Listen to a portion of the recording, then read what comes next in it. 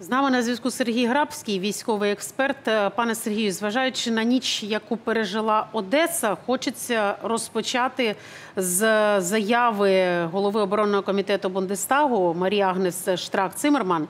Вона виступила проти обмеження дальності крилатих ракет Таурус для України.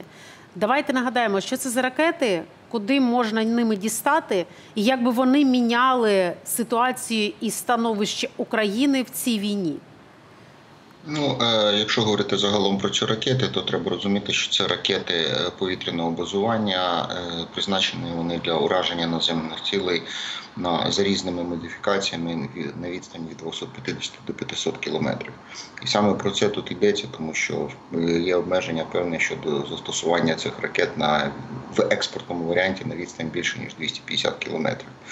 І в принципі ми говоримо про ці ракети як додатковий такий інструмент посилення тиску на противника, тобто нанесення ударів по його важливих об'єктах критичної інфраструктури, по базам і складам, місцях розміщення особового складу, командних центрах тощо. Тому е, ці ракети були б нам дуже допомічні як один з елементів досягнення переваги на полі бою. А в який спосіб росіяни намагаються захистити свої е, кораблі? Тому що е, ми розуміємо, це ціль ну, серед перших, можливо, не номер один, але одна серед перших в акваторії Чорного моря. І вже ж раніше лунали заяви, що від президента Зеленського, що поки триватиме війна, е, Росія ризикує втратити весь свій чорноморський флот. Ви знаєте, треба сказати, що це досить складне питання для росіян, тому що вони е, не були готові для такої зброї, яку використовує Україна сьогодні проти е, військово-морського флоту Російської Федерації. Тому ми бачимо такі вдалі атаки, і противник намагається протистояти таким атакам морських дронів, використовуючи стрілецьку зброю, тобто вибачте, е, тактику початку ХХ століття, коли вони просто намагаються спостерігати і упереджувати е, атаки таких дронів е, із стрілецькою зброєю, тобто примітивними постами спостереження, які вони мають. Інших варіантів вони не мають. Єдине, що зараз вони почали робити, це встановлення таких бонових загороджень в пунктах базування флоту для того, щоб запобігти атакам наших дронів вже власне на в акваторіях портів.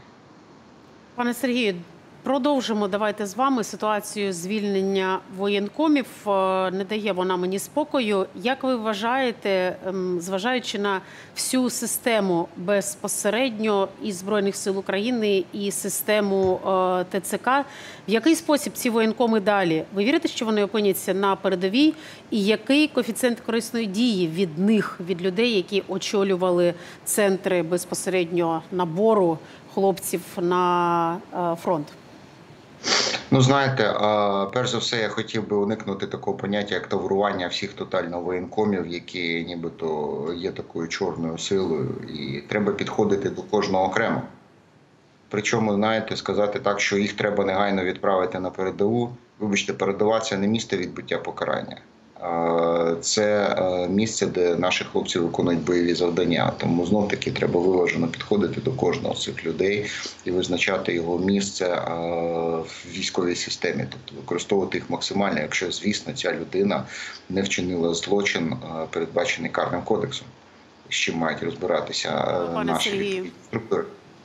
Дякуємо за цю думку. Дякуємо за цю думку. Початок е, нової години маємо йти на новини. Сергій Грабський, військовий експерт, сказав зараз, що не варто всіх воєнкомів міряти одним гребінцем. Сергій Грабський був з нами на прямому зв'язку.